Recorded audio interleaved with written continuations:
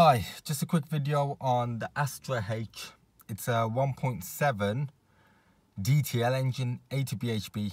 Now, had a engine spanner light come on, and then after switching off, switching back on, um, what remained was the engine management light.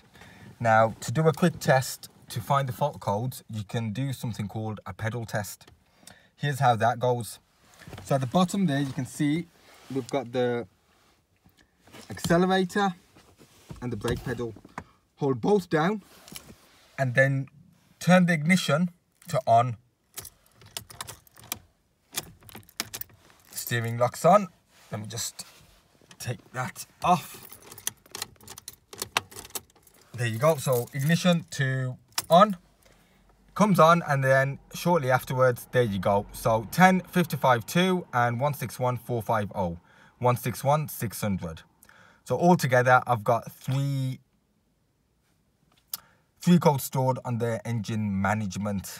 Now the first one you've seen the 10 55 2 that is to do with the MAP sensor. So i'll do another video where i remove the MAP sensor. I will then clean it up, put it back in, and hopefully that should do the job. Um, the second second engine management code that was to do with the transponder. Now that happens now and then, doesn't cause any driving issues. It's just that you turn the ignition, it doesn't start. You turn it back off, um, turn the ignition off, try and try again, and it should start immediately. But that doesn't cause drivability issues.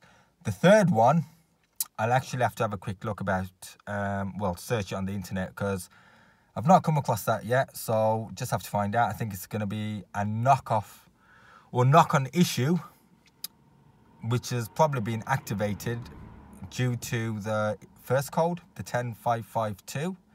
So, yeah, keep you posted. Um, when I do get to do the MAP sensor, I'll put a video on that. So please subscribe and thumbs up. Thanks.